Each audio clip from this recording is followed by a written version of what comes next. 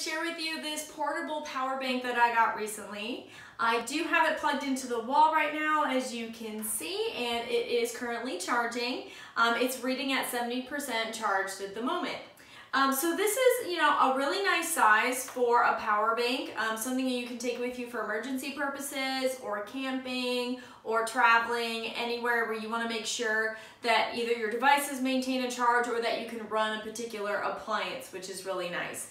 Um, this particular one has a lot of different options. Um, so it has two USB ports that you can charge your devices with. Um, it has a DC output for a lot of different things that require a DC. And it also has an AC output on the side, which is really great for, you know, things like lamps or, you know, TVs or all sorts of things like that. Uh, so yeah, I mean, it's working really well charging. It does come with the wall charger. This is just a standard wall charger. Does come up with a couple other options to charge it. This is the car charger, which is great if you're on your way to your campsite or if you're in an emergency situation and you need to charge it um, using your carport. Um, and it also has this adapter as well, which works with some solar panels and things like that. So it has a couple different options for your charging needs. Uh, so let's go ahead and plug a couple things in and see how this goes. So I'm going to go ahead and unplug it from the wall here. Now if I want the AC port to work, it just has a little switch on the side where you can turn that on and it'll turn green so you know that it's ready um, for that. But let's go ahead and plug in the USB first and see if that works. I'll turn around. Ding. And so it immediately turned on and I've got the phone charging. So, I mean, that's an important aspect that it actually charges your devices. So that works great. And let's go ahead and plug in an AC port over here.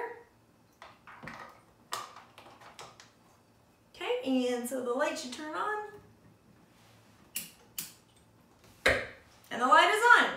All right, we still have charging and we have light on.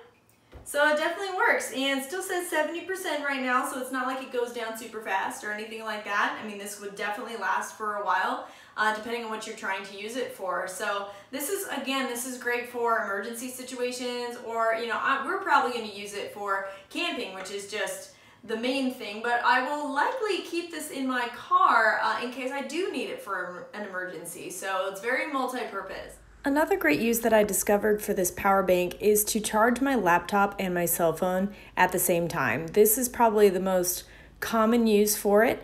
And as you can see, it's not having a problem. The light is on on my computer charger and my phone is fast charging at the same time.